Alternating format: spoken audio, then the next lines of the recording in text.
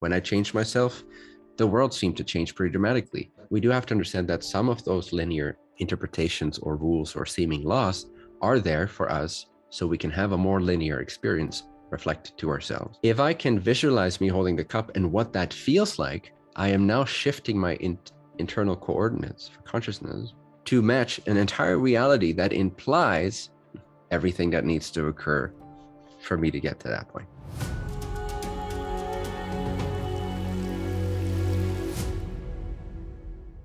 Hey, Bentinho.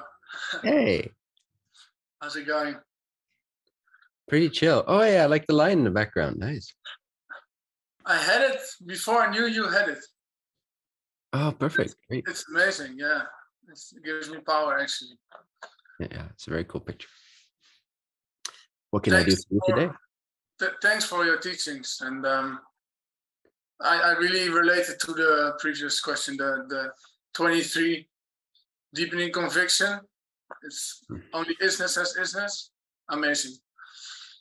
Um, I have a question about deliberate creation, and it's I think it's all been said before by you, of course, but it would maybe help me, or it will probably help me, if you can maybe one time summarize how deliberate creation works and is it about matching the frequency of a version of reality or a version of you that already exists is visualization about giving cues to reality or what is the mechanism can you maybe summarize that one more time Yes, everything exists. Every possibility exists.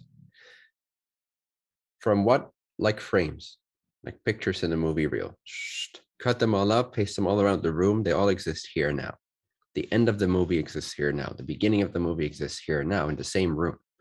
What we are attuned to, what we're looking at, will determine what we see, which time, which space, which condition, which frame. Now, multiply this by infinity, take it to depths of forever, and you'll still barely have a glimpse of the reality of it, insane right? But that's in very simplistic form. That's the mechanism. Every frame, every possible configuration of subatomic illusory particles exists here now. Every version of reality, every version of the universe coexists here now. What en- what enlivens it, what animates it? A movie isn't animated until a camera you know, or the reel of pictures is put in a certain order and it passes through the lens or the light of the, the projector. The light of the projector is your consciousness.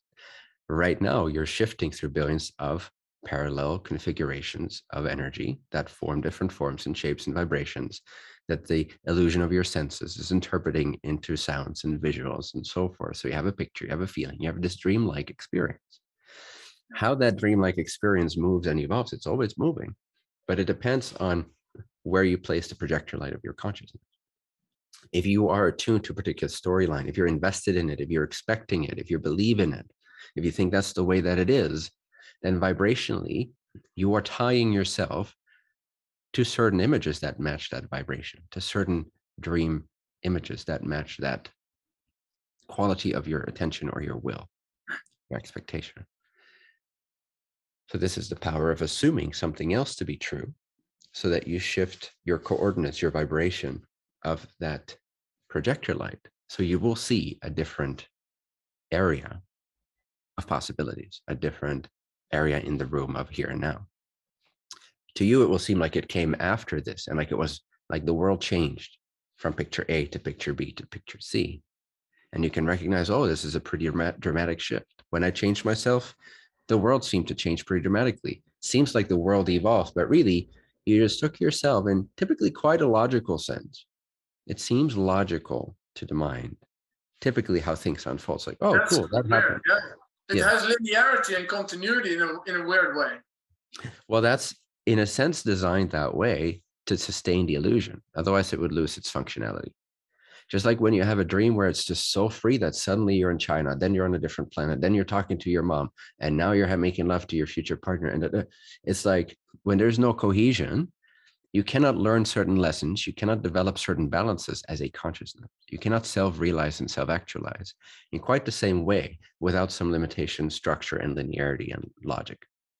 Yeah. So it's not a it's not a solid limitation we can transcend those boundaries we can create more breathing room we can dissolve some of the limitations but we do have to understand that some of those linear interpretations or rules or seeming laws are there for us so we can have a more linear experience reflected to ourselves which provides our consciousness with very specific lessons and balances and expansions but essentially the mechanism is to understand that everything already exists.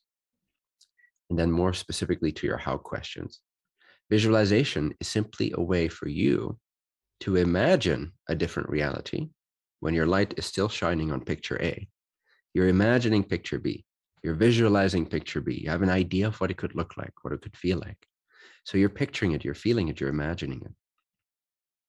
If you do that, it's not that you're creating that reality using visualization is that you're now feeding the projector light of your consciousness the coordinates, the vibrational coordinates that it needs to be tuned into, the frequency it needs to resonate with. So that then the mechanism of which pictures run through its light can change. So you're not creating the reality you're going to shift into by visualizing it. You're giving yourself the coordinates, you're giving yourself symbols and feelings so that your consciousness can begin to resonate with that frequency, which then will shift you into the reality that already exists, the picture that already rests in that same eternal mansion of the here and now.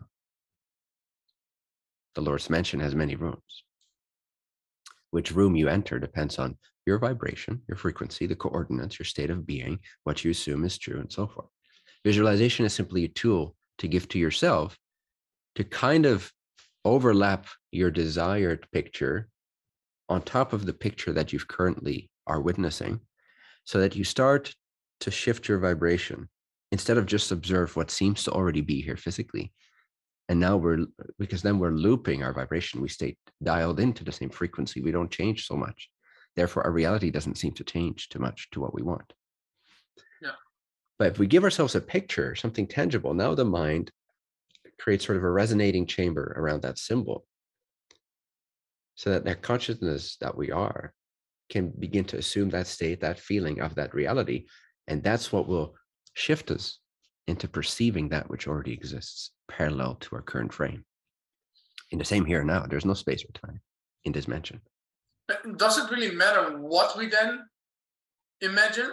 Or is it just about the frequency and on a soul level we actually already have the path defined so to speak?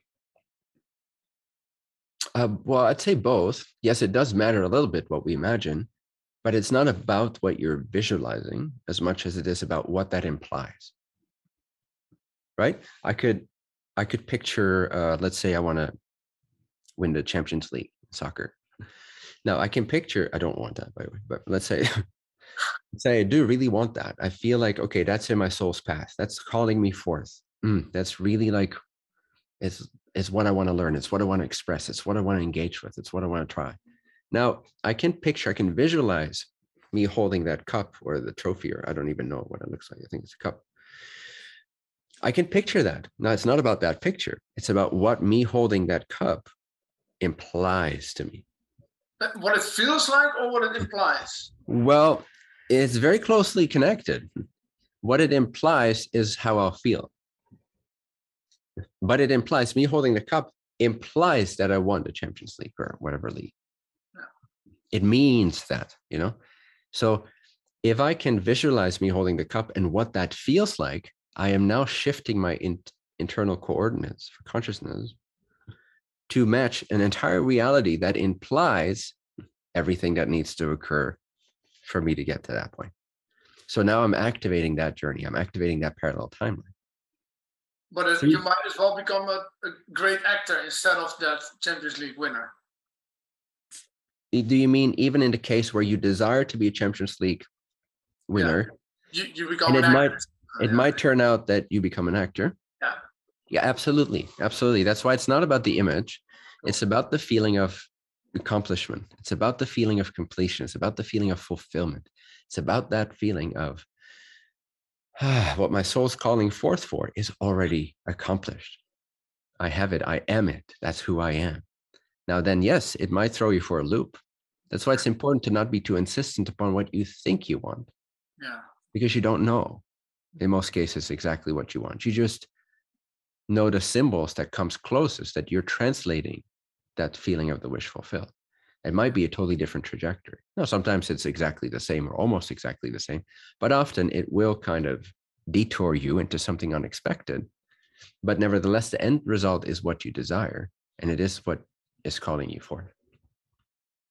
So the symbols, the visualizations, they're just the coordinates that help you tune into them. But it's more about what that implies, what that means must be true, what you assume, and therefore you will feel different. You will feel fulfilled if that imagination comes with a sense of, ah, this is who I am, and this is already accomplished, and this already exists. And now knowing, now having the conviction and faith that by attuning myself to that vibration, it has to show up might be in a slightly different fashion.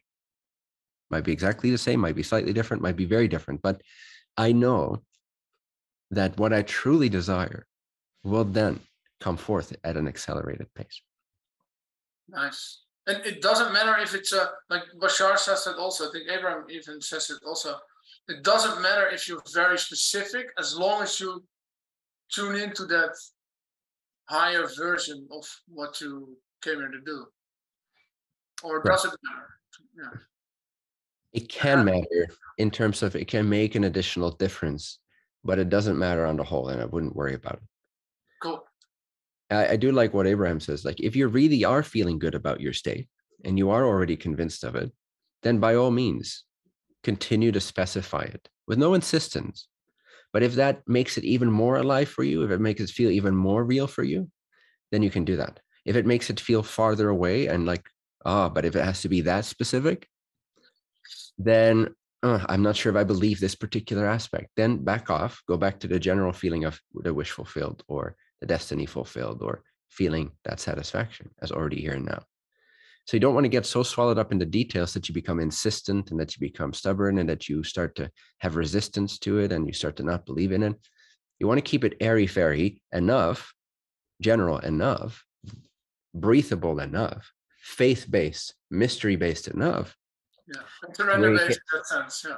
To where you can maintain at a healthy, sort of steady pace, a confident feeling of fulfillment. That is crucial. That is the most important thing. The specifics will come anyway, they will show up in your life, and then you'll believe them. Yeah, but, I see things are being put in my way that I didn't couldn't think yeah. of. It's kind of like this. If you're tune if you're tuning into if you're in your car and you want to you want to hear jazz that will fulfill you. Now, you don't know exactly what song is going to play. But you do know the coordinates to the jazz channel. Yeah. You're not going to go to the blues channel or the hip hop channel. You're going to go to the jazz channel. Now, then you'll be surprised. It might look different. It may be a song you didn't expect or that you don't even know yet, but you do know the vibe you're going for. That's kind of very similar to this. Now you can get more specific. You can start a Spotify account and look up exactly the song you want to hear. And sometimes that's delicious to do. But if you get too insistent while you're still just kind of driving in your car and you cannot control what they play over the radio, you're not at that level with that particular topic in your life. It's much better to just turn on the jazz station. At least you know you'll be satisfied. Now, from there, it'll open up new avenues to download a Spotify account and remember the exact song you were looking for. But that will come. Makes sense. In other words, it's it's better to tune into the jazz station and let it surprise you and let it yeah. satisfy you than it is to have the specific song in mind, not know what it is, and because you're so worried about it, you're like, uh, uh, uh, uh, and you're hearing all these fragmented songs, and then you're on the hip hop channel again. It's better to just tune into what you do know feels good, what you do know is the general direction, and anchor in that vibration of fulfillment. Makes a lot of sense. Sweet. Thank you. Yeah, great question.